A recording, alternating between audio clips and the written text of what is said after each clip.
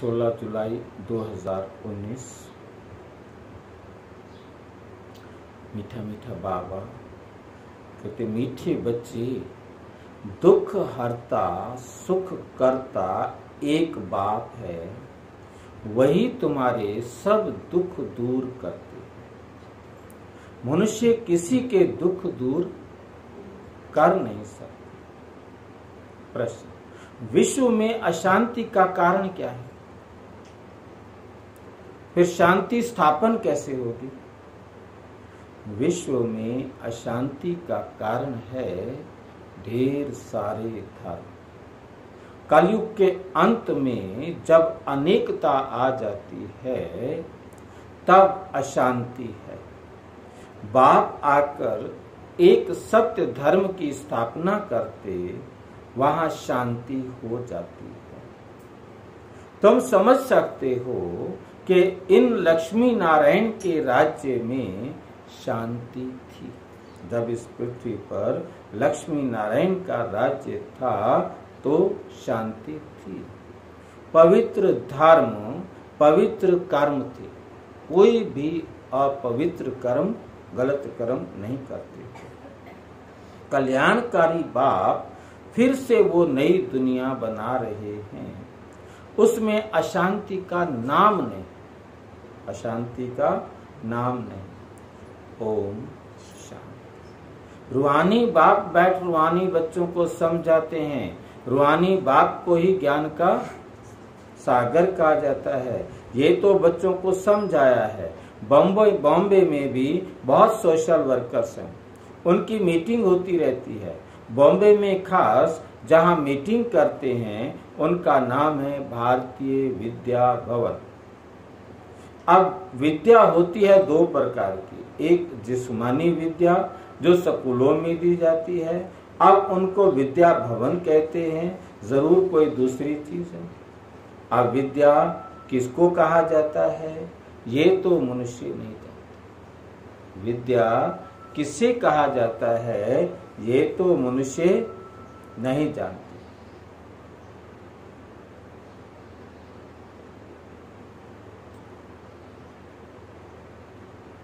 परम पिता परमात्मा ही ज्ञान का सागर है। कृष्ण को ज्ञान का सागर नहीं कहेंगे। कृष्ण को ज्ञान का सागर नहीं कहेंगे। शिव बाबा की महिमा अलग, कृष्ण की महिमा अलग। भारतवासी मूंझ पड़े हैं, गीता का भगवान कृष्ण को समझ बैठे हैं। तो विद्या भवन आदि खोलते रहते हैं। समझते कुछ भी नहीं, विद्या है गीता का क्या? तो वो वाली गीता सुन सुनाते हैं। वो ज्ञान तो है एक बाप में, जिसको ज्ञान का सागर कहा जाता है। जिस मनुष्य मात्र, जिसे मनुष्य मात्र जानते ही नहीं, जो गीता का ज्ञान आप परम पिता, परमात्मा सुनाते हैं, कोई मनुष्य मात्र उस ज्ञान को जानता ही नहीं। भारतवासियों का धर्म शास्त्र तो वास्तव में है एक। सर्व शास्त्रमयी शिरोमणि भगवत गीता। अब भगवान किसको कहा जाए? वे भी इस समय भारतवासी समझते नहीं। या तो कृष्ण को कह देते हैं या राम को, या अपने आप को ही कह देते हैं, आत्मा सो परम आत्मा। अब तो समीप भी तमो प्रधान, रावण राज्य है ना? तो बच्चे, जब तुमको, जब किसको समझाते हो तो बोलो, शिव भगवानो, वाच। पहले तो ये समझे कि ज्ञान का सागर एक ही परम पिता, परम आत्मा है। एक ही परम पिता, परम आत्मा है, जिसका नाम है शिव। शिवरात्रि भी मनाते हैं, परंतु तो किसको भी समझ में नहीं आता, ज़रूर शिव आया हुआ है तब तो रात्रि मनाते हैं। तुम बच्चे, जब किसको समझाते हो तो बोलो, शिव भगवानोवाच पहले तो ये समझे कि ज्ञान सागर एक ही परम पिता, परम आत्मा है, जिसका नाम है शिव। शिवरात्रि भी मनाते हैं परंतु किसको समझ में नहीं आता, ज़रूर शिव आया हुआ है। तब तो रात्रि मनाते शिव कौन है, ये भी नहीं जानते। ये भी नहीं जानते। बाप कहते हैं, भगवान तो सबका एक ही है। सब आत्माएँ भाई भाई हैं। आत्माओं का बाप एक ही परम पिता परमात्मा है। उनको ही ज्ञान सागर कहेंगे। देवताओं में ये ज्ञान है नहीं। कौन सा ज्ञान है? रचयिता और रचना के आदि मध्य अंत का ज्ञान किसी में भी नहीं।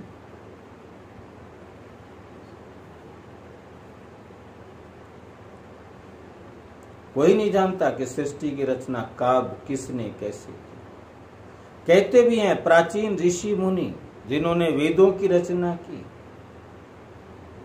उन्होंने भी कहा कि हम नहीं जानते परमात्मा ने सृष्टि को कब कैसे रचा।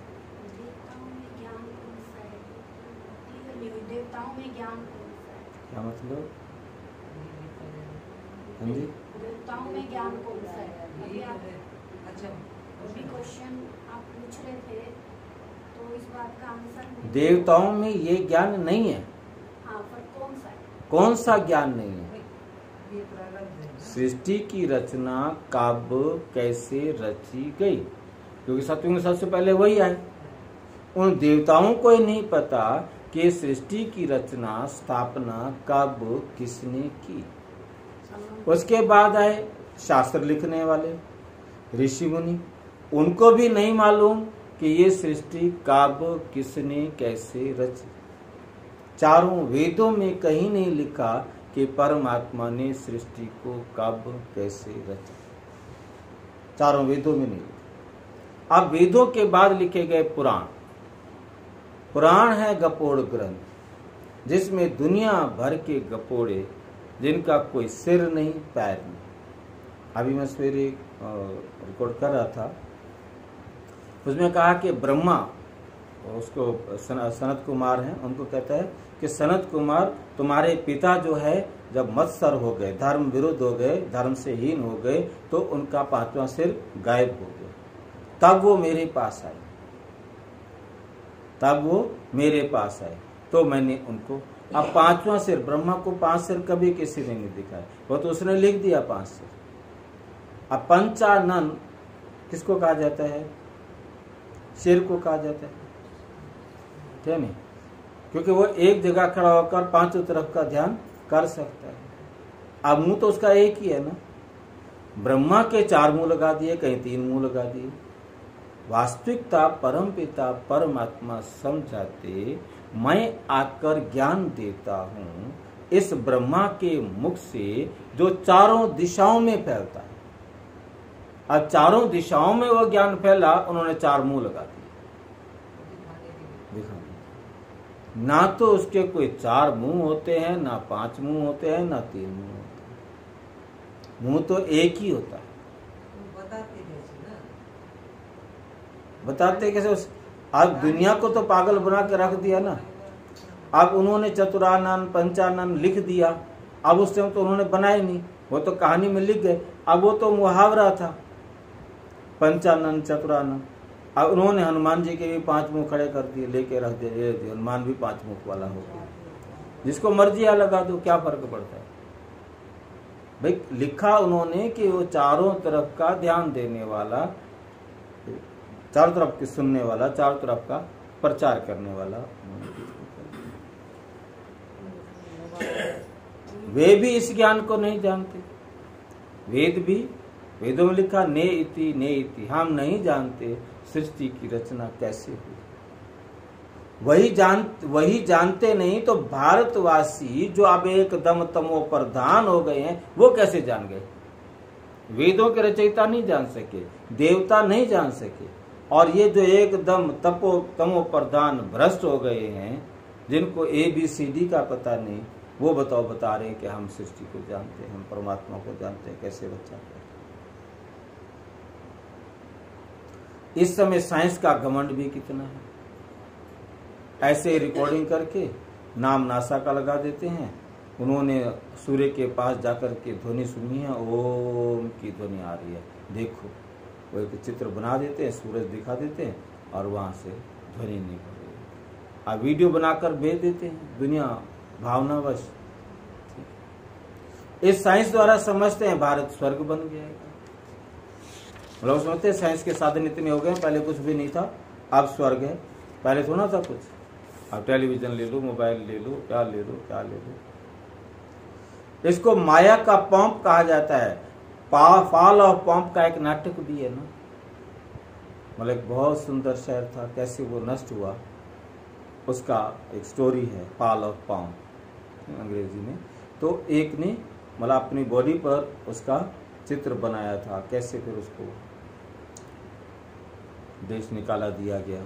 कहते भी हैं कि इस समय भारत का पतन है। सतयुग में उत्थान है, अब पतन सतयुग में सबका ऊँची अवस्था होती है और कलयुग में आज सबका एकदम तमो प्रधान पतित हो गए हैं। इसलिए उनका जो करेक्टर है, वो बॉटम में चला गया है, पताल में चला गया है। वो पताल ढूंढते फिरते हैं, आकाश, धरती के अंदर कोई पताल होगा। ये नहीं ढूंढ रहे कि ये नहीं समझ रहे कि हमारा करेक्टर ही पताल में चला गया बॉटम में चला गया बिल्कुल खत्म हो गया ये कोई स्वर्ग थोड़ा है ये तो माया का पंप है दिखावा है। राजितनी क्या बोलते हैं बाहर चूना अंदर पर क्या बोलते हैं ऐसे? अंदर मिट्टी बाहर चूना। मतलब ऐसे कुछ ऊपर से सुंदर सुंदर लग रहे मकान और अंदर एकदम खोखले।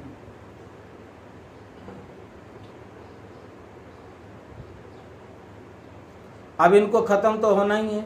मनुष्य समझते हैं, विमान है बड़े बड़े महल, बिजलियाँ, यही स्वर्ग है। कोई मरता है तो कहते हैं, स्वर्गवासी अच्छा अब स्वर्ग में गया तो पहले कहा था? उनको कोई पूछे कि अब स्वर्ग में गया तो पहले पहले कहा था? तुम कहाँ रहते हो? स्वर्ग में रहते हो कि नर्क में? ये तो रावण का पौंप है बेहद का बाप स्वर्ग की स्थापना कर रहे हैं। इस समय है चटा बेटी माया और ईश्वर। चटा बेटी ऊपर नीचे होना। कुश्ती करते ना कभी कोई ऊपर तो कभी कोई ऊपर। तो इस समय चटा बेटी है ईश्वर में और माया में। आसुरी दुनिया और ईश्वरीय दुनिया की ये है भारतवासियों को सम ये भी भारतवासियों को समझाना पड़े दुख तो अर्जुन बहुत आने वाले ऐसा होना चाहिए ना बात। डराए तो नाना तो दुख तो अर्जुन बहुत आने हैं। अब भगवान भी डराए तो क्या करेंगे तुम? ये नहीं कि सारे दुख खत्म कर देवे। दुख तो अभी बहुत आने अथाह दुख आना है, स्वर्ग तो होता ही सतयुग में, कलयुग में हो ना सके। ये भी किसी को पता नहीं। पुरुषोत्तम संगम युग किसको कहा जाता है? ये भी बाप समझाते हैं। ज्ञान है दिन, भक्ति है रात।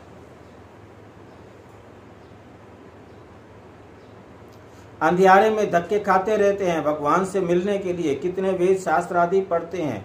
ब्रह्मा का दिन और रात, सो ब्राह्मणों का दिन और रात। सच्चे मुख वंशावली ब्राह्मण तुम हो। वे तो कलयुगी कुक वंशावली ब्राह्मण है। तुम हो पुरुषोत्तम संगम युगी ब्राह्मण। ये बातें और कोई नहीं जानते। ये बातें जब समझे, तब बुद्धि में आए कि हम ये क्या कर रहे हैं। भारत सतो प्रधान था, जिसको ही स्वर्ग कहा जाता है तो ज़रूर ये नर्क है, तब तो नर्क से स्वर्ग में जाते हैं। वहाँ शांति भी है, सुख भी है, लक्ष्मी नारायण का राज्य भी है। तुम देखते हो?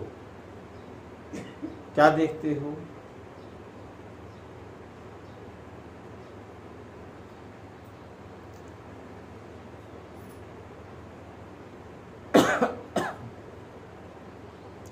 फिर तुम उन्हें समझा सकते हो मनुष्यों की वृद्धि कैसे कम हो पहले वृद्धि बढ़ती जाती है बढ़ती जाती है बढ़ती जाती है। आज जनसंख्या बढ़ रही है बढ़ रही है। सारे को टेंशन हो रही है कि दुनिया की जनसंख्या बढ़ती जा रही है। कम करो कम करो कम करो। बाबा कहते तुम समझा सकते हो। क्या समझाओगे आप उनको? उनको समझाएँगे कि ये फैमिली है परमात्मा की। ये फैमिली है परमात्मा की। वो अपने आप कंट्रोल करेगा। हमने ठेका लिया इसको कंट्रोल करने का। हम क्यों अपना दिमाग खराब करें? ये जिसकी फैमिली है वो करेगा ना कंट्रोल तो बाबा के राइट हैंड है हम करेंगे तो परंतु उनको कहेंगे हम करेंगे अच्छा तुम बड़े सियाने हो। इसलिए भगवान का नाम लो बाबा कहते मेरा नाम लो तुम कहोगे कि हम करेंगे कि बस चुप ब्रह्मचर्य का नाम लिया चुप जाके मरो उधर ठीक है? मतलब वो आपकी बात को हमारी बात को यही इसीलिए बाबा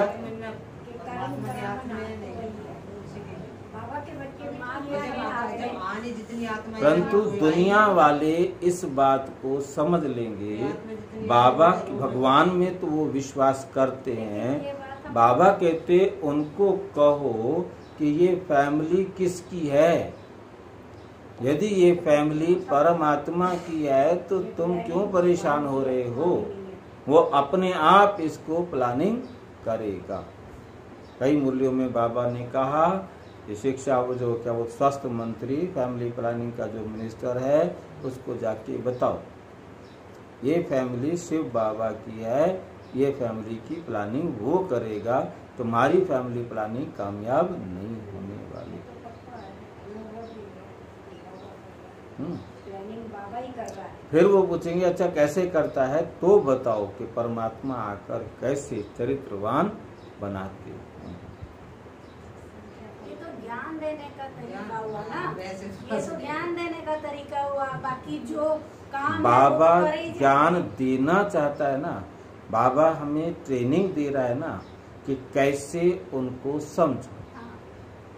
समझा तो सारे रहे हैं, परंतु कैसे समझाओ क्योंकि तुम कहोगे कि हम समझा रहे हैं तो आपकी वैल्यू मेरी वैल्यू और शिव बाबा की वैल्यू में अंतर है अथॉरिटी तो वही है ना? हम तो अथॉरिटी नहीं है ना? ये बात तो बिल्कुल समझ में आती है जिसको भी मैं बताती हूँ कि ये फैमिली प्लानिंग तुम्हारी नहीं है। हम्म, ऐसी कलयुगी दुनिया में जहाँ वासना ही वासना भरी पड़ी हो एक एक बच्चे का होना मैंने कहा कि आती है समझ में बहुत क्या थी तो ठीक है। मैंने कहा एक एक होना ये परमात्मा की प्लानिंग है। मनुष्यों की वृद्धि कैसे कम हो सकती है? अशांति कैसे कम हो सकती है? अशांति है ही पुरानी दुनिया कलयुग में। नई दुनिया में तो है ही शांति। स्वर्ग में शांति है ना? उनको ही आदि सनातन देवी देवता धर्म कहा जाता है। हिंदू धर्म तो अभी का है। इनको आदि सनातन धर्म नहीं कह सकते। वे तो हिंदुस्तान के नाम पर हिंदू कह देते हैं, आदि सनातन देवी देवता धर्म था। वहाँ कंप्लीट पवित्रता, सुख, शांति हेल्थ वेल्थ और हैप्पीनेस थी। सब अभी पुकारते हैं हम पतित हैं, हे पतित पावन आओ। अब प्रश्न है, पतित पावन कौन? बुला तो सारे रहे हैं। कृष्ण को तो नहीं कहेंगे। पतित पावन परम पिता परमात्मा ही ज्ञान का सागर है। वही आकर पढ़ाते हैं। ज्ञान को पढ़ाई कहा जाता है। सारा मदार गीता पर है। अभी तुम प्रदर्शनी, म्यूज़ियम आदि बनाते हो, लेकिन अभी तक बीके का अर्थ नहीं समझते। समझते हैं, ये कोई नया धर्म है। सुनते हैं, समझते कुछ नहीं है। बाप ने कहा है कि बिल्कुल ही तमो प्रधान पत्थर बुद्धि हैं। इस समय साइंस घमंड भी है, बहुत बन गए हैं। साइंस से ही अपना विनाश कर लेते हैं। ऐसे नहीं शंकर कोई विनाश करता है, आता है और किसी आँख खोलता है, आग लग जाती है ऐसा कुछ नहीं है। जो कुछ बनाते हैं इस पुरानी सृष्टि के विनाश के लिए विनाश हो, तब तो फिर नई दुनिया की जय जयकार हो। ये तो समझते हैं स्त्रियों को का दुख कैसे दूर करें। परंतु मनुष्य थोड़े ही किसको दुख दूर दुख दूर कर सकते हैं। दुख हरता, सुख करता तो एक परम पिता, परम आत्मा है। देवताओं को भी नहीं कहेंगे। कृष्ण तो देव, कृष्ण भी देवता हो गया। भगवान नहीं कह सकते। ये भी समझते हो, समझते नहीं। जो समझते हैं, वो ब्राह्मण बन औरों को समझाते भी हैं। जो खुद समझ जाएगा तो वो औरों को समझाएगा भी सही। जो राजपद या वे आदि सनातन देवी देवता धर्म के हैं, वो निकल आते हैं। लक्ष्मी नारायण स्वर्ग के मालिक कैसे बने? क्या कर्म किया जो विश्व के मालिक बने? इस समय कलयुग अंत में तो अनेकानेक धर्म हैं तो अशांति है। तो अशांति है। नई दुनिया में ऐसे थोड़ा ही होता है। अभी ये संगम युग है, जबकि बाप आकर राजयोग सिखलाते हैं। बाप ही कर्म अकर्म विकर्म की नॉलेज देते हैं। आत्मा शरीर लेकर कर्म करने जाती है।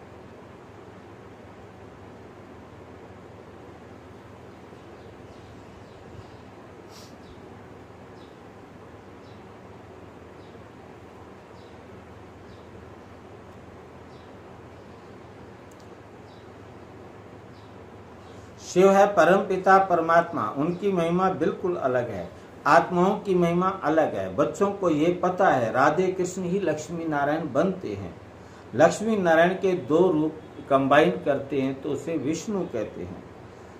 फ़र्क तो है ही ना। बाकी चार भुजा वाला, आठ भुजा वाला कोई मनुष्य नहीं होता है। देवियों आदि को कितनी भुजाएँ दे दी हैं? समझाने में समय लगता है। बाप कहते हैं, मैं हूँ ही गरीब निवास, मैं आता हूँ, आता भी हूँ, तब जब सारी सृष्टि पतित हो जाती है। तब आकर सारी सृष्टि को पतित से पावन बनाते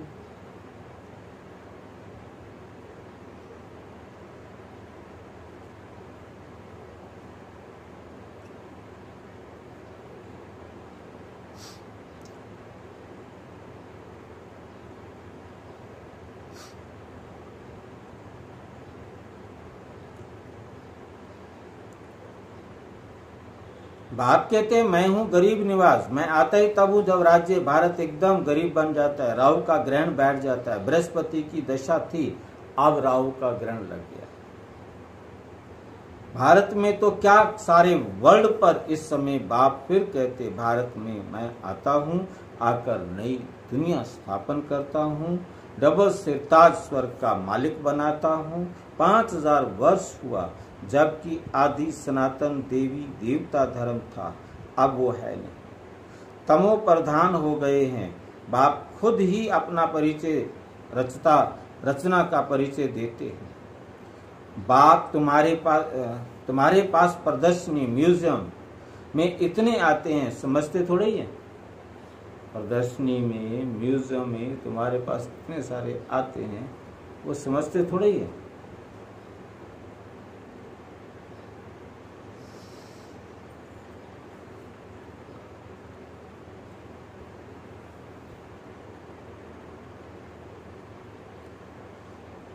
बच्चों को भी ऐसे समझाना है। लक्ष्मी नारायण का चित्र दिखाना है। ये विश्व में शांति स्थापन हो रही है। आदि सनातन देवी देवता धर्म का फाउंडेशन है। नहीं तो बाप स्थापन करे कर, कर रहे हैं। देवताओं को पवित्र धर्म पवित्र कर्म था। अब ये है विशेष वर्ल्ड नई दुनिया को कहा जाता है वाइसलेस वर्ल्ड निर्विकारी दुनिया।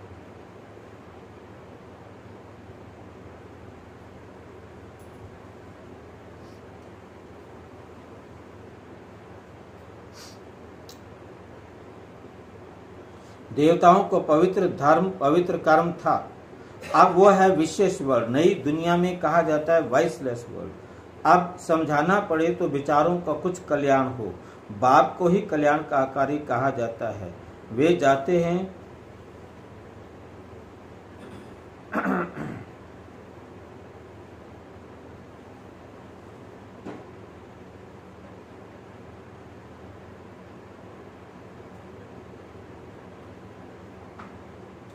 ज्ञान से सदगति होती है, इस पर रोज टाइम लेकर समझा सकते हो। बोलो, रचता और रचना के आदि मध्य अंत को हम ही जानते को हम ही जानते हैं। ये गीता का एपिसोड चल रहा है, जिसमें भगवान ने आकर राजयोग सिखाया है डबल सिरताज बनाया है। ये लक्ष्मी नारायण भी राजयोगी से डबल से ताजधारी बनते हैं।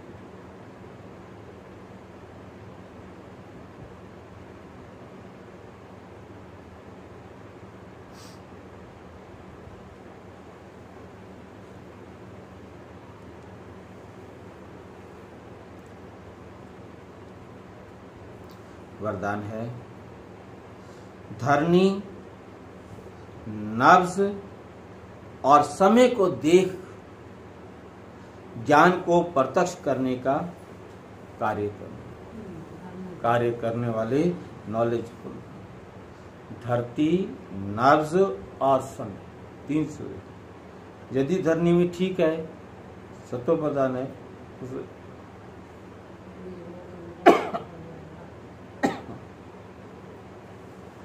और जिसकी नब्ज ठीक नहीं है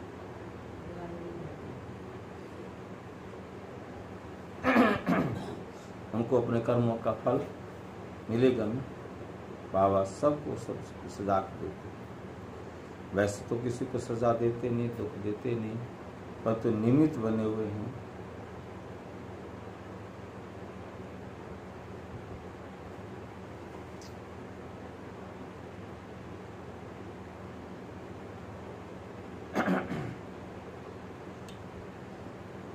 लेकिन इसका अर्थ ये नहीं कि आते ही किसी को नए ज्ञान की नई नई बातें सुनाकर मुझा दो। धरनी, धरती मतलब क्या समझ सकती है? समय, स्थिति,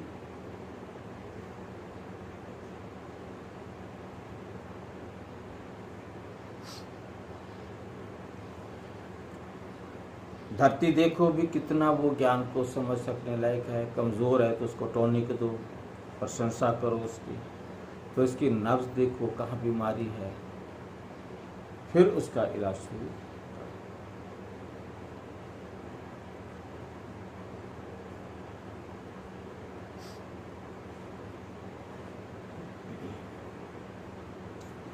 ये नॉलेजफुल की निशानी है। आत्मा में नॉलेजफुल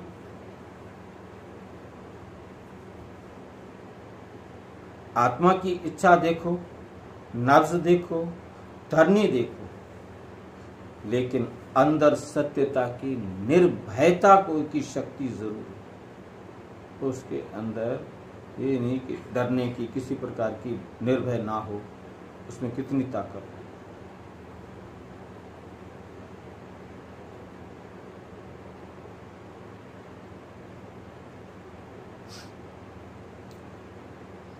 है नब्ज देखो, धरनी बनाओ, उन्हें तैयार करो। लेकिन अंदर सच्चाई की निर्भयता की शक्ति ज़रूर अंदर में सत्यता की, निर्भयता की शक्ति ज़रूर है। तब सत्य ज्ञान को प्रकाश में ला पाएँगे।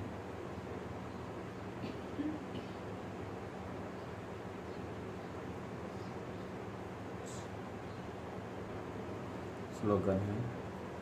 मेरा कहना माना, छोटी बात को बड़ा बनाना मेरा कहना, मेरा, मैं कह रहा हूँ ना, मेरे अहंकार में आना, छोटी बात को बड़ा बना देना और तेरा कहना माना, बड़ी बात को छोटा। ओम शांति।